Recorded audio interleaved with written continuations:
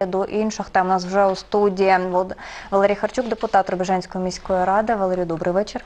Добрый вечер.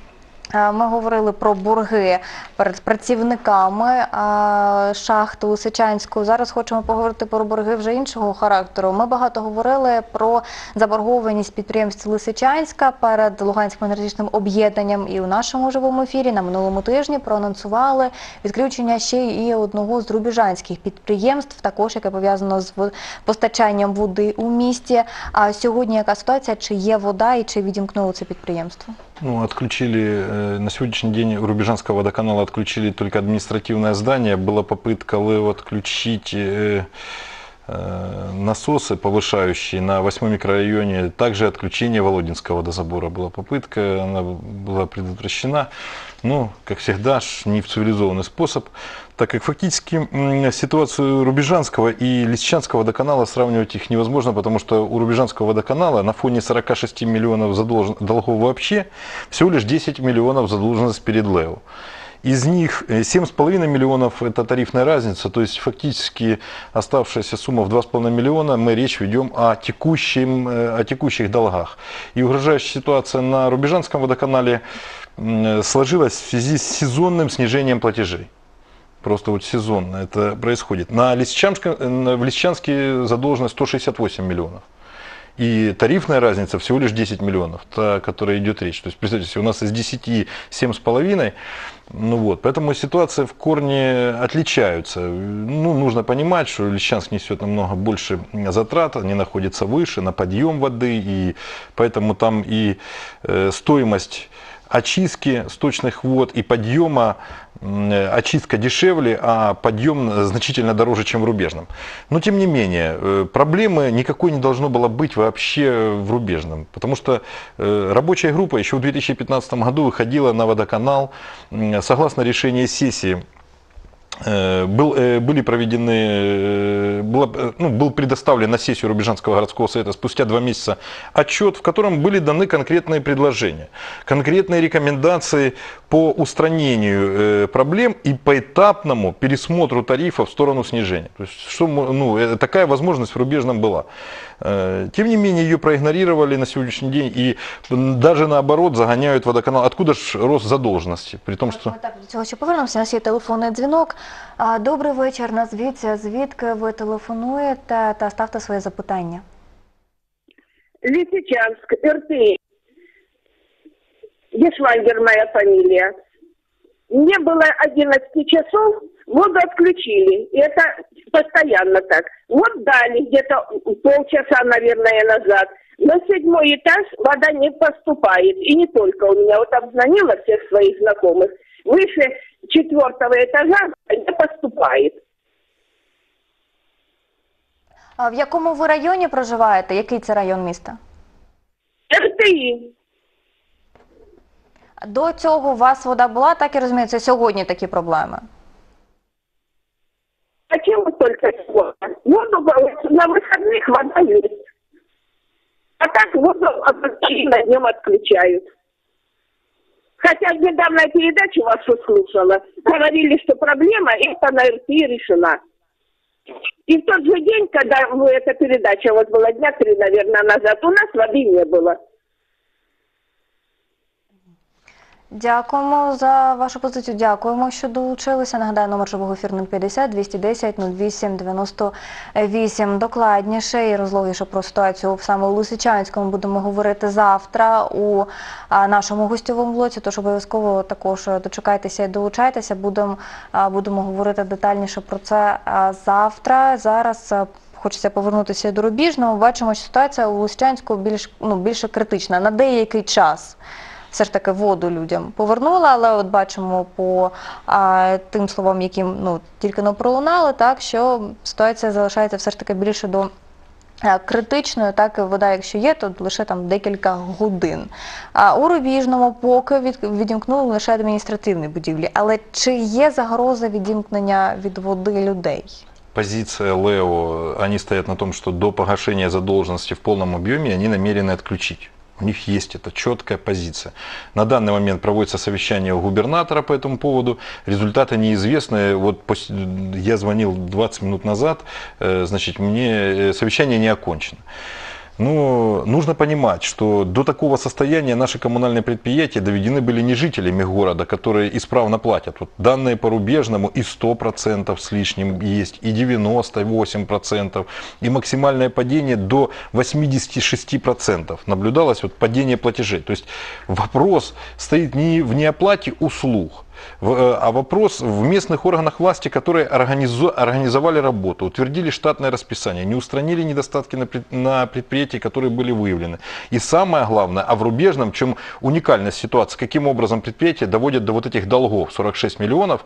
То есть у нас, не если, это, если в Лещанске 168 перед Лео, сторонняя организация, то у нас м, 48 долгов это э, долги, э, в том числе, которые относятся к химза ОНПП «Заря». Депутатский корпус, ни для кого не секрет.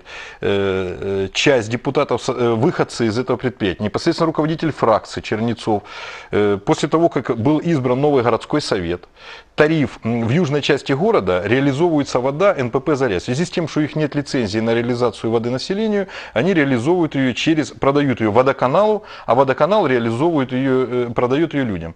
Э, НПП «Заря» продавала до 2015 года, э, тариф составлял 6 с лишним гривен во- водоснабжения и водоотведения. На сегодняшний день, сразу после избрания власти, в состав которой, вот я даже посмотрел специально, кто же голосовал за принятие это реш- этого решения. У нас вот Якунин, Абрамян, Ну, э, так ви за нього вже Сидоренкова. Это згадали. замы Ми, городского головы, а, выходцы, анонсували так, що выходцы с этого сьогодні предприятия. у цій студії мав Олександр Якунін. Він так е, вже майже в останній момент сказав, що він дуже зайнятий, але пообіцяв прийти вже в найближчі дні. Тож чекаємо його у цій студії і хочемо почути також і його позицію як представника влади, так як заступника міського голови.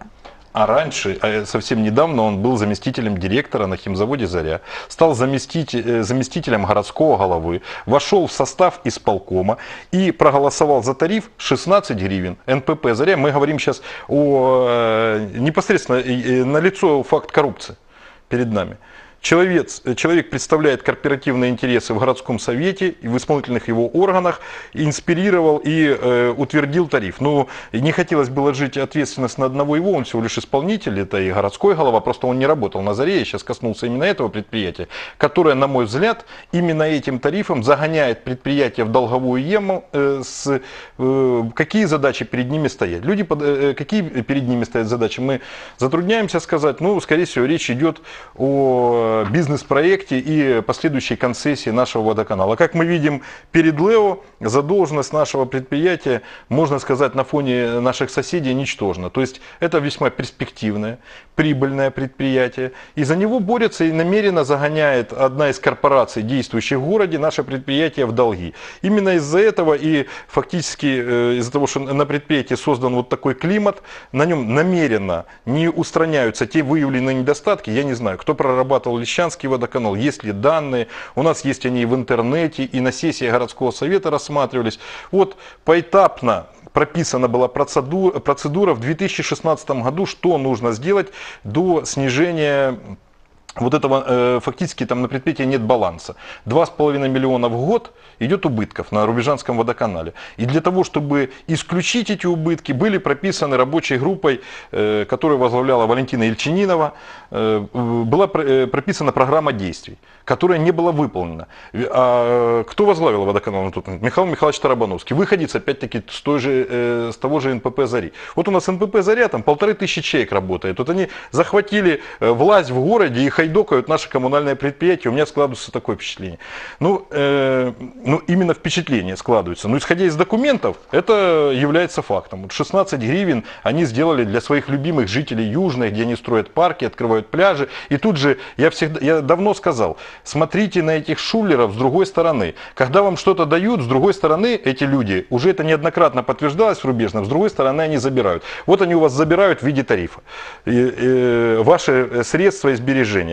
А зараз, коли така ситуація, коли є ну дійсно загроза все ж таки відімкнення, є ініціатива, можливо, зібрати позачергову сесію, якось розглянути, а можливо виділити якісь кошти чи переглянути сам підхід, саму ситуацію, все ж таки, аби не було такого і не було такої навіть загрози для підприємства і для міста.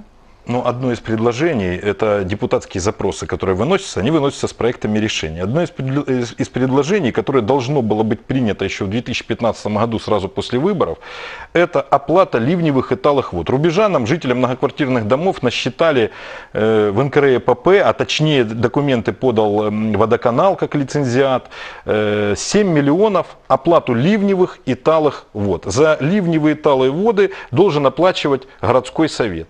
Каким образом там будут происходить расчеты? Сейчас это вообще затруднительно, потому что счета водоканала заморожены, и фактически даже перечисление им денег на счета не решит проблему с оплатой задолженности, потому что они заморожены. Это открытие только новых счетов, очередная какая-нибудь афера, и э, в результате которой там снять напряжение они хотят. Я думаю, что на уровне губернатора эта проблема будет решена, потому что в Рубежном э, перед не Лео является основной проблемой для Рубежанского водоканала, а действия местных органов власти. Вот в чем разница. То есть в нашем случае это специально уничтожается, не уничтожается, а э, предприятие доводится до банкротства искусственно. Нет, тариф подняли в два раза, электричество поднялось в два раза. Электричество в составе тарифа всего составляет 35% у нас. Остальное заработная плата, ГСМ и прочие расходы. Поэтому э, у Рубежанского водоканала даже в рамках нынешнего тарифа он должен был получать прибыль порядка 4-4,5 миллионов, если бы были утверждены соответствующие решения. Мероприятия по устранению недостатков на предприятии предлагались. Проект решения о финансировании своевременном, когда еще счета не были заморожены, депутатами от оппозиционного блока, городским головой и замами не воспринимались всерьез. Э, руководители предприятий, вот бывший руководитель, например, э, Подгайка, с которой я встречался, конечно же, она говорит, что это решило бы в корне проблему, если бы местные органы власти перечисляли там от 5 до 7 миллионов за очистку ливневых и талых А вод. є ці кошти в бюджеті, аби їх перераховувати? Профицит бюджета в прошлом году составил 20 миллионов в Рубежном.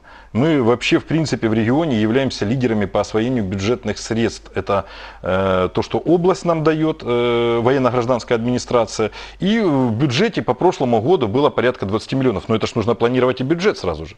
Мы должны были при- после принятия решения, заключения данного договора из э, водоканалом, мы сразу должны были и закладывать эти средства в бюджете и планировать их. И все должно работать системно, а не ситуативно, как это пытаются решить э, на сегодняшний день, просто не допуская электрика в ЛЭО э, посредством очередного, я уверен, рукоприкладства и хамства на водозабор.